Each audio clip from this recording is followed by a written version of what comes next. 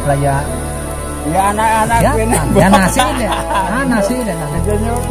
Mungkin harus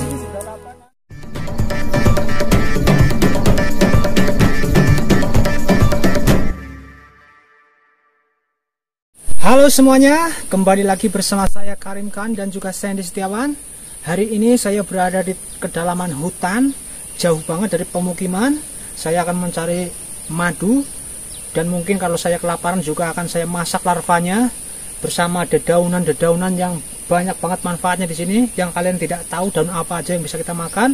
Langsung aja kita menuju ke sarang yang berada di puncak gunung itu. Ikuti terus jejak saya, Karim Khan semangat api. Let's go.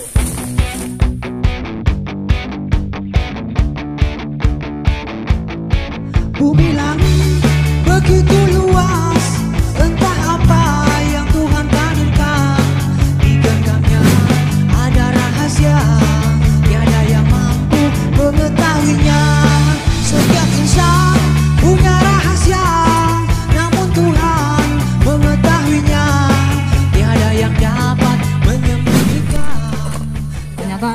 tahunya ada di apa? Bukit paling dalam ini. Jadi berada di semak-semak kayu belukar semak belukar banyak sekali. Gelap. Jadi nggak kelihatan karena matahari juga lagi nggak nggak cerah. Ternyata berada di sini nih. Coba sini sini, sini.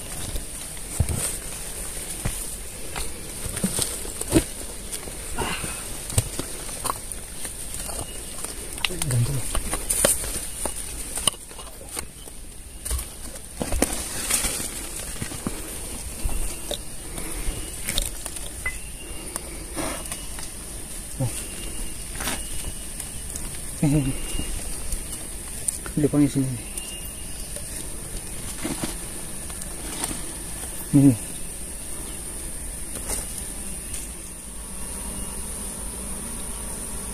ya Allah nyemat.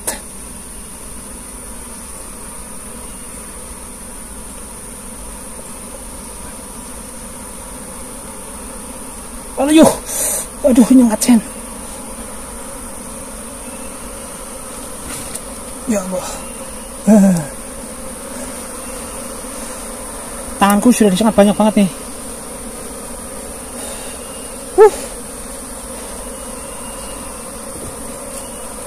Sen. Gimana ambilnya ya? Wah.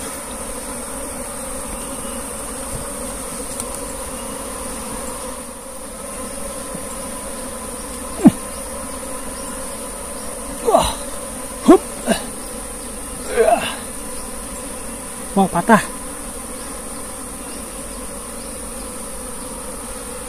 Patah, Sin.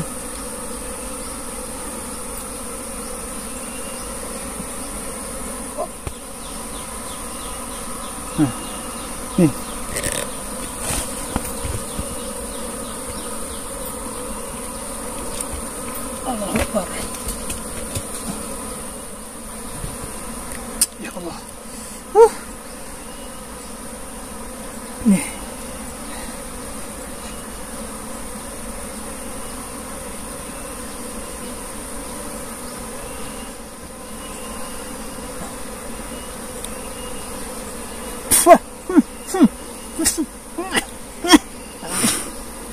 Aduh, hidungku terus tersengat. Aduh. Uh, perih banget. Aduh. Ini kalau sangat bagian hidung itu rasanya sampai matanya tuh keluar air matanya. Aduh.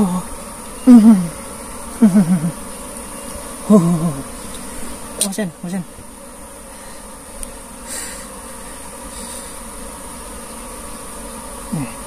Wow. Nih, lagi bagus-bagusnya nih tangsinya nih. Larvanya lagi penuh-penuhnya nih. Tuh, saya ambil lagi. Coba tak ambil lagi. Wow, sampai ke sini dalam sen. Sampai atas.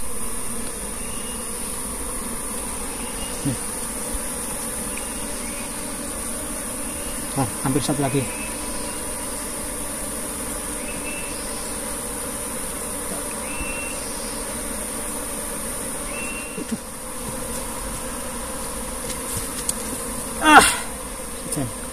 terakhir ini terakhir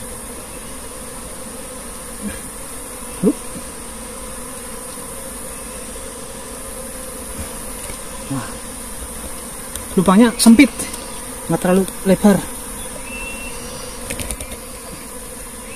aduh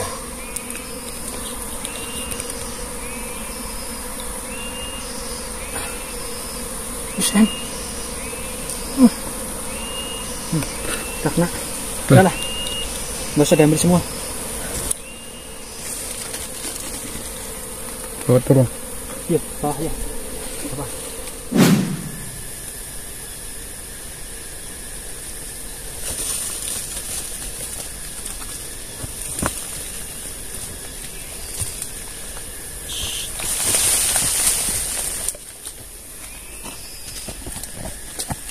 Nih. Ini padahal satu sarang ini. Isinya banyak banget karena lubangnya sempit. Masih ada di sana. Ini karena nggak ada madunya jadi kita nggak usah diambil semuanya. Kita sisakan kita ambil lain kali supaya ada madunya terlebih dahulu. Dan ini kita masak aja. Yuk kita masak aja yuk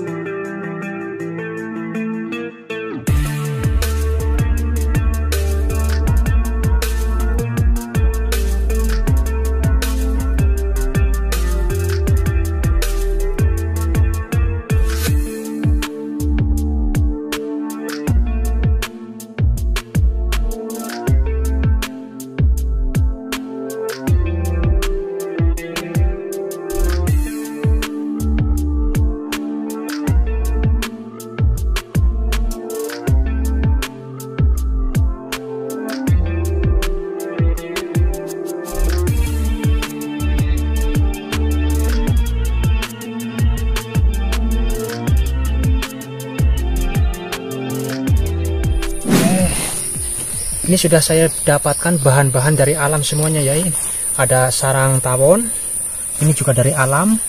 Daun enak ini namanya daun cingkrong enak. Ini cabai juga ada di alam tadi nggak tahu bekas siapa yang nanam kita nggak tahu ya. Yang penting ini sudah terbengkalai dan kita ambil aja nggak apa-apa. Kita langsung aja bikin apinya terlebih dahulu. Oke, oke.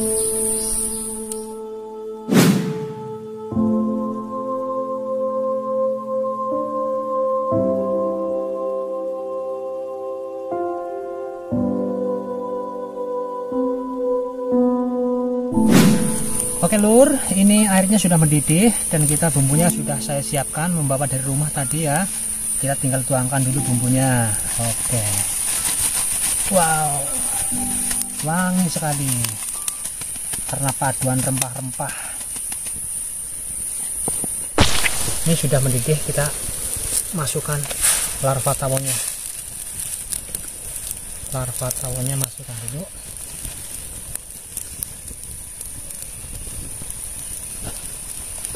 Guys.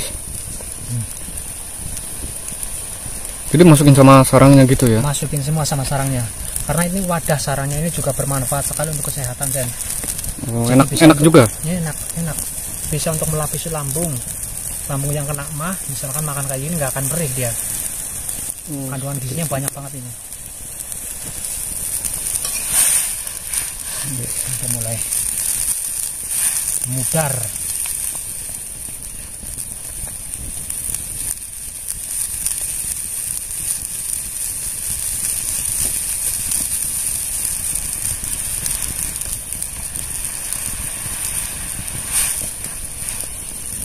Oke, ini sudah mendidih dan terakhir ini kasih daun cingkrongnya, ya. Enak banget. Nah.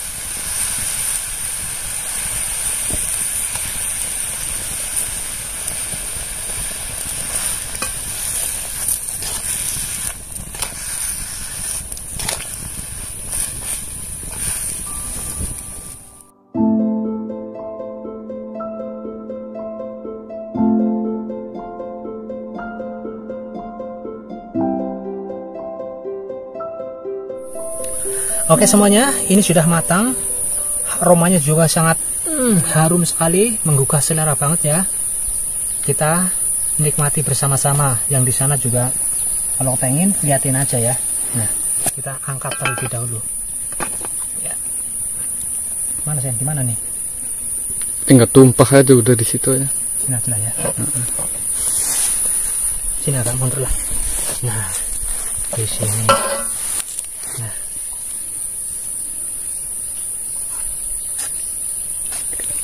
Atau kayak gini? matang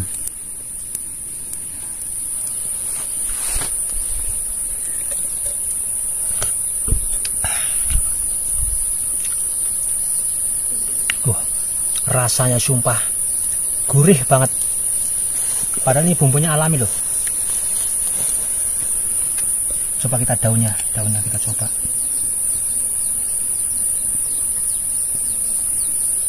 Masih panas nih.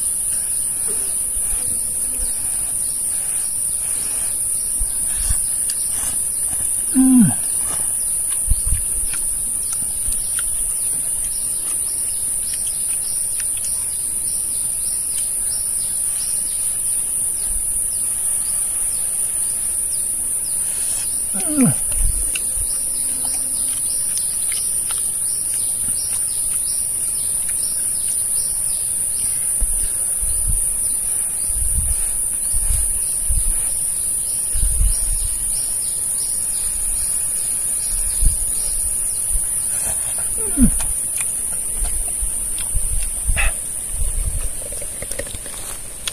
Mantap. Mantap.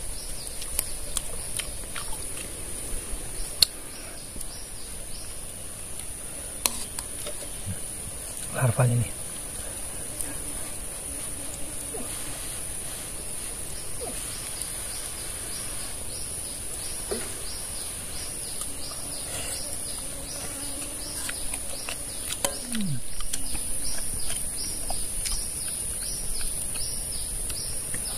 Inilah guys, enaknya tinggal di desa. Mau makanan yang dari alam, tinggal kita pergi hutan, dapat makanan. Bahkan rumput-rumput kayak gini aja bisa kita makan. Hmm. Gak ada yang tahu kan? Rasanya juga penasaran pastinya. Ini, ini, ini contohnya rumputnya tadi. Nah. Hmm. Nikmat sekali.